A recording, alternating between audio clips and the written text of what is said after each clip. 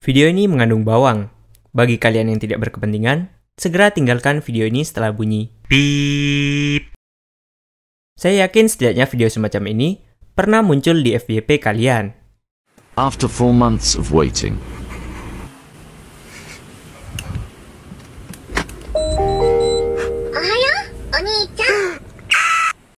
Tapi sayangnya, video semacam itu hanyalah editan. Mereka menggunakan satu sumber suara yang sama, lalu dimasukkan ke video pribadi masing-masing. Hal itu lantas membuat saya berpikir, why? Nande konten begitu nande. Kenapa harus editan? Padahal bisa punya yang asli. Lihat kan? Gak perlu efek editan untuk menghasilkan mainan Onichan. Pembuatannya tidak akan sulit karena hanya akan memanfaatkan modul jadian yang tersedia di pasaran, seperti DF Player Mini, IC7805, timer switch, SD card, dan speaker. DF Player Mini Pada dasarnya, DF Player Mini adalah sebuah MP3 player yang memiliki fitur SD card reader.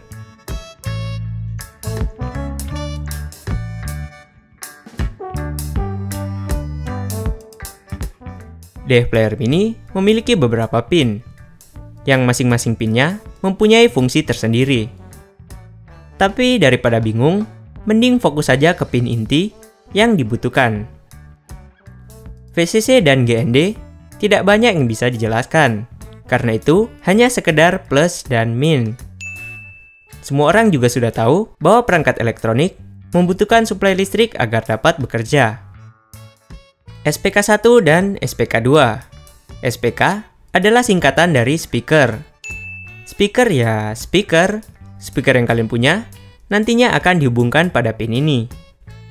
Terakhir ADKI 1. ADKI 1 adalah pin yang berfungsi untuk memainkan file audio di urutan pertama.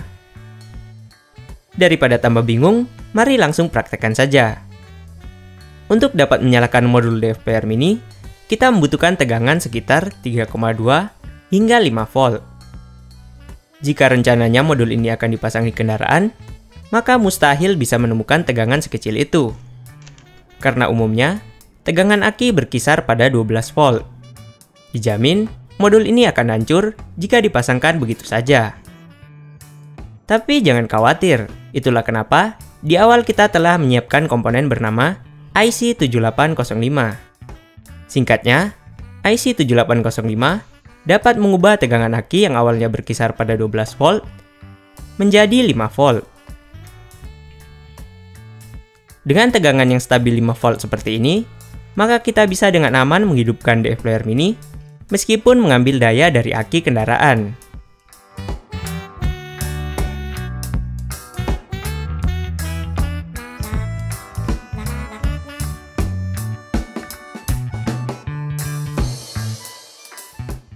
Selanjutnya adalah menyiapkan speaker. Speaker yang digunakan adalah speaker 4 ohm berdaya 3 watt. Alasan pemilihan speaker tersebut karena itu sudah merupakan batas kemampuan yang bisa dihandle oleh modul ini. Namun daripada menggunakan speaker copotan seperti ini, saya akan lebih menyarankan untuk menggunakan speaker portable yang biasanya digunakan untuk komputer ataupun laptop. Sudah dapat speaker, disertai boxnya. Lagian dari segi harga, entah kenapa membeli speaker portable lebih worth it daripada membeli speaker copotan. Tinggal pasangkan speaker pada pin SPK1 dan SPK2 yang terdapat pada modul DF Player Mini. Berikutnya pin ADKI 1. Seperti yang sebelumnya sudah disebutkan, ADKI 1 adalah pin untuk memplay file audio. Dengan memberi ground pada pin ADKI 1, maka file audio yang berada di urutan pertama akan diputar.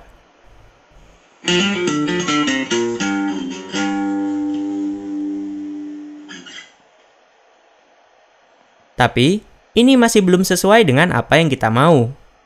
Kita maunya, saat kontak on, modul ini haruslah langsung memutar audio dengan sendirinya. bukan dilakukan secara manual. Kalau begitu, bukankah kita hanya perlu menghubungkan ADK1 ke ground agar saat modul dinyalakan, maka audio akan langsung diputar? Benar sekali, audio akan otomatis diputar. Tapi, bukan hanya diputar sekali, melainkan berkali-kali.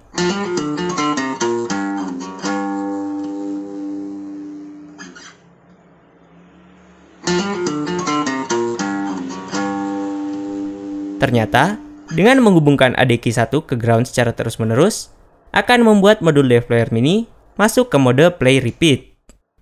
Lagi-lagi, ini masih belum sesuai dengan yang kita mau. Kita maunya, audio hanya diputar sekali saja.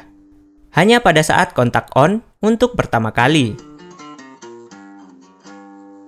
Ada salah satu solusi yang bisa dilakukan untuk mengatasi hal itu, yaitu membiarkan modul Dev Player Mini menyala. Lalu, saat file audio selesai dimainkan, dengan segera kita matikan modulnya.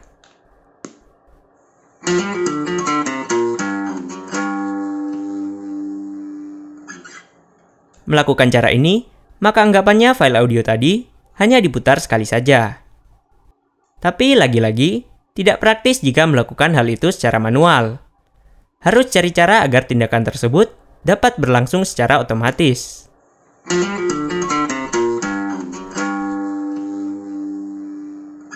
Kita serahkan saja tugas itu pada modul NE555 Timer Switch. Pada dasarnya, modul ini hanyalah sebuah relay yang dikendalikan oleh IC NE555. Fungsi dari modul ini adalah memberikan delay on atau delay off pada perangkat elektronik yang kita gunakan. Delay on artinya, saat menyalakan sesuatu, maka perangkat tersebut tidak akan langsung menyala, melainkan menunggu beberapa waktu hingga pada akhirnya bisa menyala. Sebaliknya, delay off artinya, saat kita menyalakan sesuatu, maka perangkat tersebut akan langsung menyala. Namun, selang beberapa saat, perangkat tersebut akan mati dengan sendirinya. Dari kedua fungsi yang bisa diberikan oleh modul ini, kalian pasti sudah tahu fungsi mana yang cocok untuk keperluan kita. Kita gunakan modul ini sebagai delay off timer.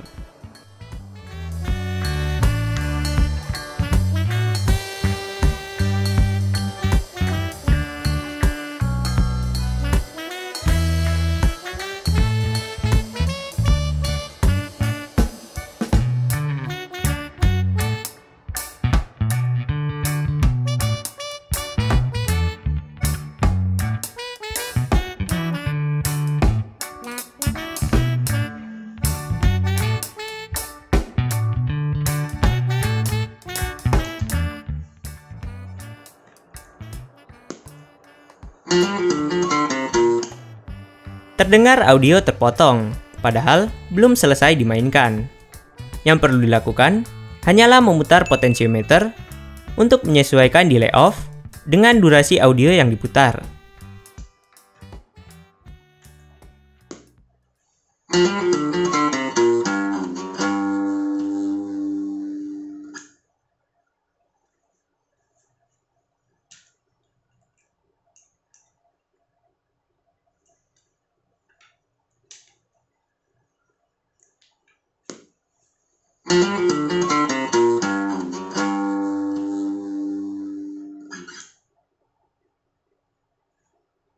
Tugas selanjutnya adalah mengisi SD card dengan file audio yang direncanakan.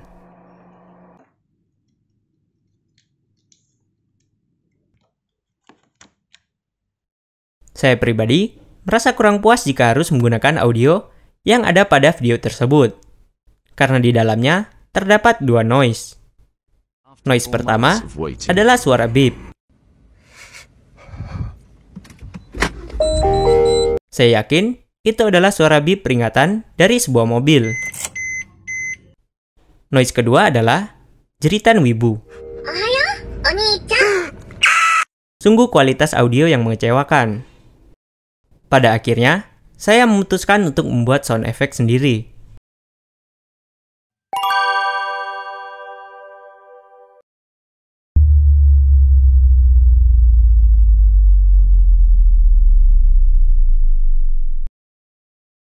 兄ちゃん Setelah mengumpulkan beberapa sound effect gratisan, lalu menggabungkannya, dihasilkanlah sound effect yang menurut saya lebih bersih untuk digunakan. お兄ちゃん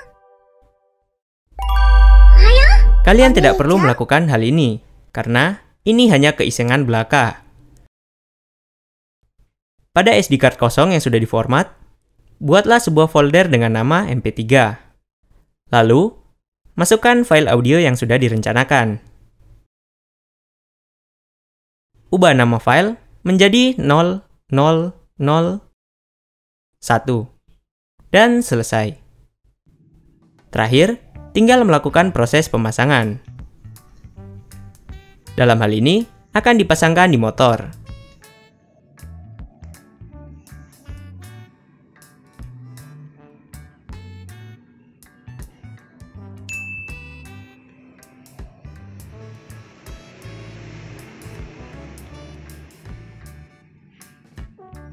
Meskipun tadi kita bicara soal kunci kontak, bukan berarti kita harus benar-benar mengakses kunci kontak. Sebagai alternatifnya, bisa hubungkan saja mainan ini ke lampu kota ataupun lampu utama dari motor. Terutama jika motor kalian merupakan motor yang lampunya langsung menyala saat kontak on. Terkait pengaplikasian di motor, saya serahkan saja pada kalian. Lakukanlah sekreatif mungkin. Intinya, pastikan mainan ini terhindar dari cipratan air. Dan kalau memang akan dipasangkan secara permanen, jangan lupa untuk menambahkan sekring. Nah, kalau gini kan oke mau direkam. Asli keluar suara.